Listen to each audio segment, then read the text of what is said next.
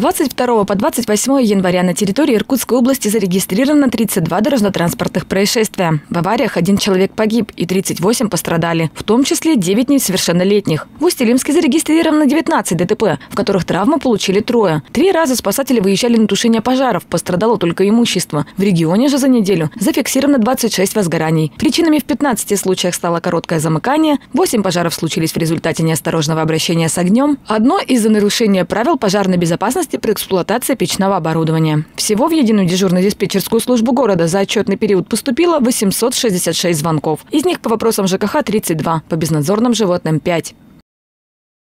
С 1 февраля соцфонд повысит выплаты людям с инвалидностью, ветеранам боевых действий, участникам Великой Отечественной войны и другим гражданам, пользующимся правом на федеральные льготы, получающим дополнительно к пенсии так называемую ежемесячную денежную выплату на 7,4%. Вместе с тем будет проиндексирована компенсация набора соцуслуг. По умолчанию набор предоставляют в натуральном виде – лекарствами и медоизделиями, путевкой в санаторий или проездом на пригородных электричках. Однако по желанию набор можно частично или полностью получить деньгами. С февраля февраля на 7,4% проиндексирует мат-капитал. Он составит 630 тысяч рублей на первого ребенка и 833 тысячи на второго. Тем, кто успел потратить часть средств, оставшуюся сумму также увеличат на 7,4%. Вырастут и несколько других выплат семьям, в которых недавно появились дети. Это ежемесячное пособие по уходу за ребенком до полутора лет для неработающих родителей, единовременное пособие при рождении или усыновлении ребенка, а также единовременное пособие по беременности и родам. Все повышения пройдут беззаявительно. Обращаться в социальный фонд фонд не нужно.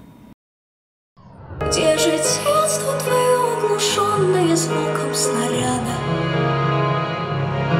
Почему эта боль так мешает свободно дышать? Мальчик, слышишь, прошу, ты держись, потому что так надо. Потому что судьба, потому что война, потому что блокада, потому что война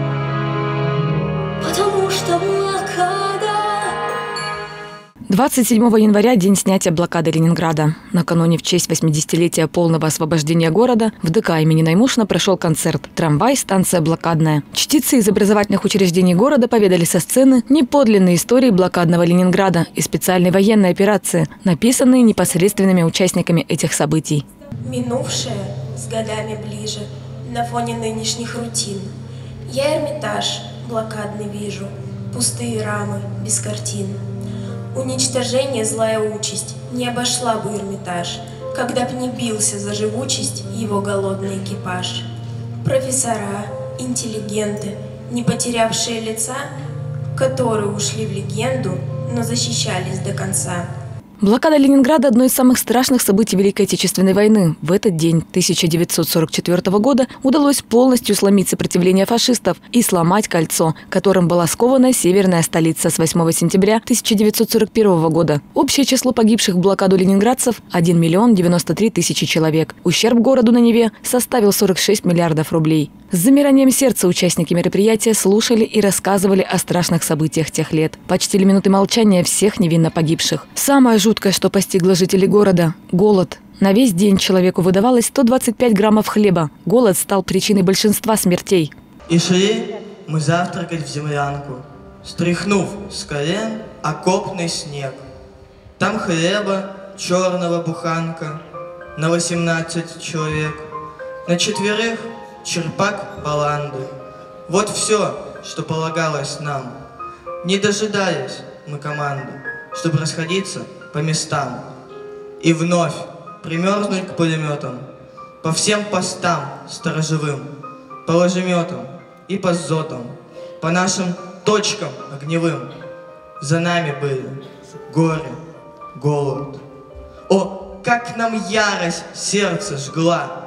За нами был наш гордый город. За нами жизнь его была. Об этом наглядно рассказали живые картины, крещенные блокадой, представленные юными устелимцами на верхней уличной трибуне Дворца культуры. Сюжеты из жизни осажденного города помогли совершить историческое путешествие длиной 80 лет и окунуться в атмосферу военного времени. Мужество и стойкость жителей блокадного Ленинграда сохранится в памяти поколений навсегда.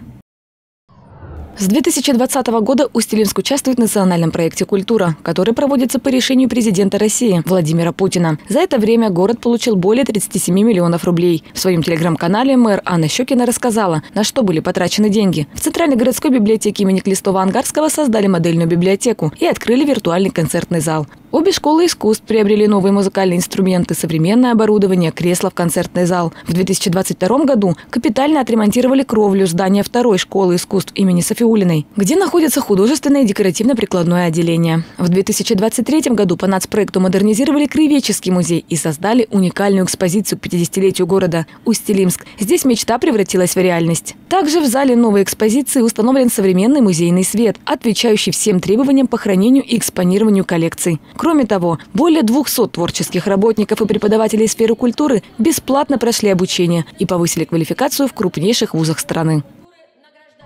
На приведение в порядок мемориалов в честь победы в Великой Отечественной войне муниципальным образованием Иркутской области в 2024 году выделят субсидии из регионального бюджета. Их общий объем составит 178,7 миллиона рублей, сообщает пресс-служба правительства региона. Министерство культуры провело анализ и выяснило, что в муниципалитетах требуется обновить более 400 объектов. Усть-Илимску выделена сумма в размере 8 миллионов 12 тысяч рублей на ремонт памятных знаков. Это обелиск славы с заменой плит и мемориал «Три звезды» со стороны танка. Есть все сметные расчеты.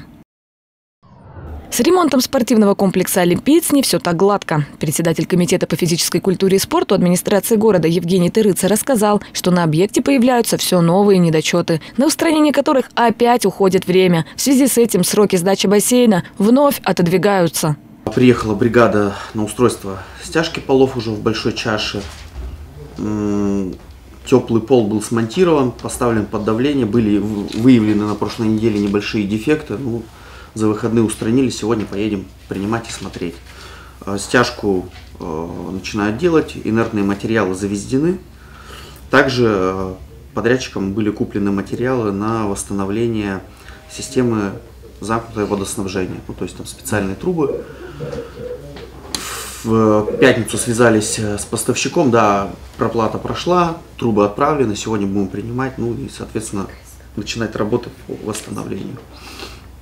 Также на этой неделе проведем открытое совещание, потому что на прошлой неделе мы а, отправили по двум новым пунктам еще претензии, две претензии. То есть по просрочке, двум пунктам по графику исполнения работ, э, который был подписан последний раз. То есть там 100 тысяч рублей э, пойдет еще штрафом. В мэрии подтвердили информацию о том, что в 2024 году отлов безнадзорных животных на нашей территории будет проводить приют при питомнике К9. В случае отлова домашних питомцев они будут увезены на передержку в Иркутск. Ранее об этом сообщила Устилимская станция по борьбе с болезнями животных. Владельцам напоминают, что самовыгул собак запрещен. В пятницу у нас э, был подписан муниципальный контракт по э, отлову и содержанию безнадзорных животных. Напомню, у нас победителем был признан э, иркутская э, организация К9. В принципе, довольно она не только в области нашей известная, но и уже по России. Вот, э, предварительно с руководителем все вопросы как бы были обговорены. Ну, сейчас вот посмотрим, как она будет у нас проходить с ними работу. Я надеюсь, что как бы, проблем не будет.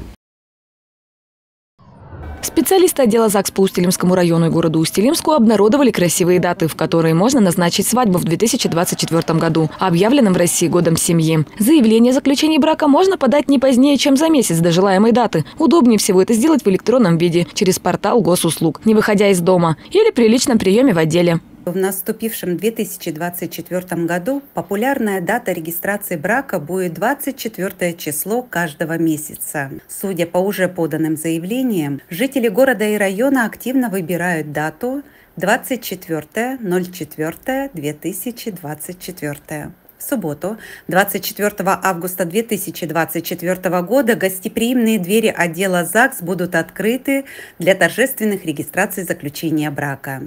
Надеемся, что при выборе даты регистрации брака устилимцы обратят внимание на 24.12.2024. На протяжении многих лет одна из востребованных дат для создания семьи 8 июля. Всероссийский день семьи, любви и верности. Традиционно в этот день в отделе для всех желающих будет открыт торжественный зал. Мы надеемся, что в 2024 году, который объявлен президентом России годом семьи, будет зарегистрировано максимально большое количество браков, будет создано много крепких, дружных и счастливых семей, вне зависимости от даты, которые выберут будущие супруги. Дворец культуры имени Наймушина открывает семейный фотоконкурс «Сага Алган в каждый дом». Для участия необходимо сделать фотографию своей семьи в стилистике бурятской национальной культуры с использованием традиционной одежды, обрядовых элементов и национальных блюд. Фотографии участников принимаются до 8 февраля включительно. Итоги фотоконкурса будут объявлены 10 февраля в 15 часов в рамках проведения Нового года по лунному календарю «Сага Алган» в концертном зале Дворца культуры. Победители получат дипломы и памятные призы. Дополнительная информация в положении на сайте dknaimушина.рф. Алена Феоктистова, Антон Емельянов. Информационная программа «Северный город».